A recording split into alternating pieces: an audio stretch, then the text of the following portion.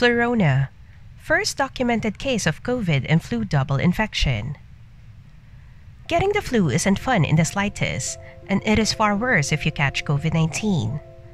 Yet the worst of all is getting both illnesses at the same time. That's exactly what happened in a patient in Israel, the first case of the dub Flurona. This season, respiratory infections are so common because of major factors. One of them is the weather itself, cold and dry. The cold, dry air is a burden to the upper respiratory tract, something germs can exploit. The other impactful factor is low humidity that may help certain viruses to survive longer in the air. Combining the two, expect your lungs to be prone to the common cold, influenza, and even COVID 19. According to Euronews, the first case of flurona has been reported in Israel. Here, a young pregnant woman contracted both viral agents of influenza and COVID 19. Although her symptoms are mild, the country's health ministry wasn't expecting it to happen.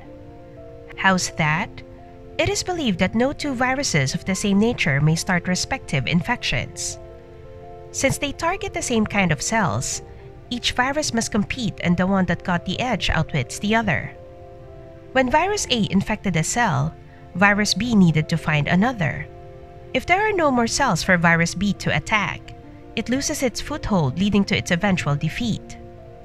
However, the shocking case was confirmed by medical tests, positive on both influenza and COVID 19.